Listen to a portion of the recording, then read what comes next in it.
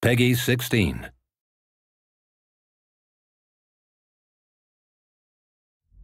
To the ordinary.